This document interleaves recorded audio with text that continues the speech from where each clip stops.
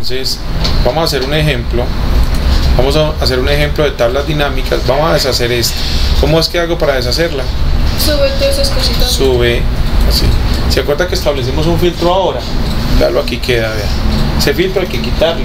Si no lo quita, el informe que haga a continuación queda con ese filtro, entonces queda mal. ¿Cierto? Entonces hay que hacerle clic, digo que seleccionar todos. Una manera de quitarlo. Ahí desapareció. Bueno, listo. Entonces, hagamos otro. Necesitamos, por decir algo, eh, eh, ¿cuántas personas, cuántas personas, cómo es que hago el del género? ¿Cuántas, ¿Cuántos hombres y cuántas mujeres hay? ¿Cómo es que lo hago?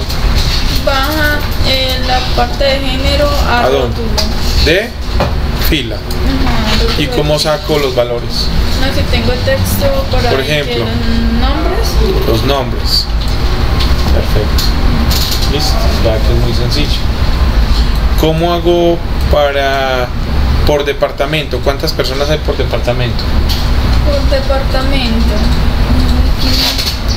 Ahí dice departamento, rótulo de fila y coge el de género, puede ser. Sí, género. Y lo tiro a valores, ahí está. Me dice cuántas personas hay por departamento. Otro ejemplo. Otro ejemplo. Necesito saber cuántas personas hay por RH, por RH, o positivo, negativo, todo eso.